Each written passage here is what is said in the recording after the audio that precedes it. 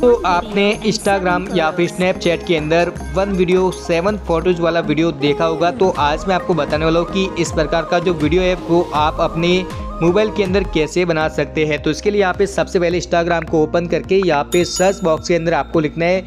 hashtag one video seven photo जिससे कि यहाँ पे उस टाइप के वीडियो मिल जाते हैं। तो यहाँ से हम उस वीडियो का ऑडियो डाउनलोड करने वाले तो किसी भी वीडियो पर क्लिक करके आपको कॉपी लिंक पर क्लिक करना है और उसके बाद आपको क्रोम के अंदर जाके यहाँ पे लिखना है इंस्टाग्राम रील्स ऑडियो डाउनलोड और उसके बाद आपको इस वेबसाइट पे क्लिक करना है, और यहाँ पे जो लिंक आपने कॉपी किया उसको पेश कर लेना है, जिससे कि आपको जो ऑडियो है, उसको डाउनलोड करने के लिए यहाँ पे आपको ऑप्शन मिल जाता है, जिससे कि आप उस ऑडियो को डाउनलोड कर सकते हैं। वीडियो सेवन फ़ोटोज़ वाला ऑडियो डाउनलोड करने के बाद अब आपके पास एक वीडियो और सात फ़ोटो होने चाहिए, और इसके बाद आपको प्ले स्टोर से काई मास्टर की जो ऐप है, उसको डाउनलोड करके इस प्रकार से ओपन करना है, और यहाँ पे न्यू प्रोजेक्ट पर आपको क्लिक करना है।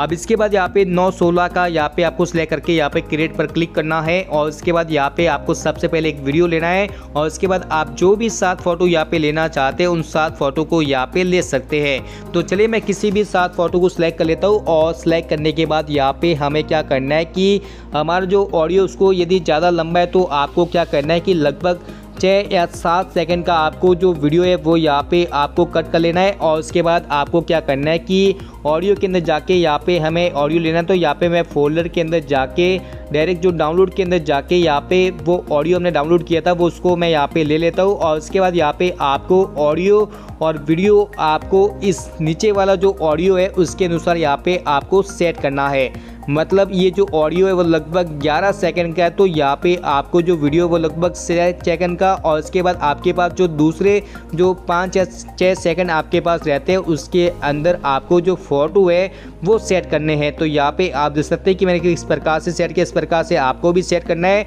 और उसके बाद यहाँ पे आप एक्सपोर्ट पे क्लिक करके आपका जो वीडियो है वो यहाँ पे बन जाता है। फिर आप इंस्टाग्राम रील्स के अंदर या फिर स्नैपचैट के अंदर आप अपना वीडियो पोस्ट कर सकते हैं। वीडियो पसंद आए तो प्लीज़ वीडियो को लाइक करें शेयर करें और इस प्रकार के और भी वीडियो देखना चाहते हैं तो प्लीज़ आप हमारे यूट्यूब चैनल को सब्सक्राइब करना न भूलें। Thank you